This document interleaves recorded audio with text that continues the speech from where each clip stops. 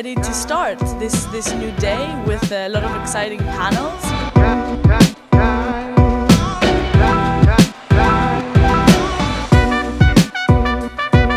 My name is Mari Hermans and I was one of the speakers in Data Natives. It was very, very cool and interesting experience to share about my experiences with, with my peers and colleagues and also afterwards to have very elaborate discussions about my field. It's great to meet people that also have the same vision when it comes to data and a lot of open source thinkers. Oh, I love coming to Data Natives just to be part of that conversation, to be talking with people about this, to hear their ideas, hear where they're going, hear what they want to do, and to share my story a little bit as well.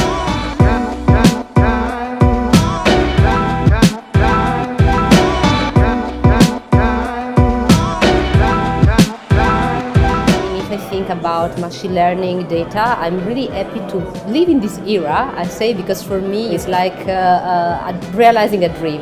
Why I'm so excited to be here at Data Natives is GovTech is becoming mainstream. It was kind of like small but growing, but now I see that we're in mainstream conferences like this, which means that more businesses are seeing GovTech as an opportunity and more investors are seeing it as opportunity. It's great to be here at Data Natives hearing about how data is transforming AI and the rest of the world.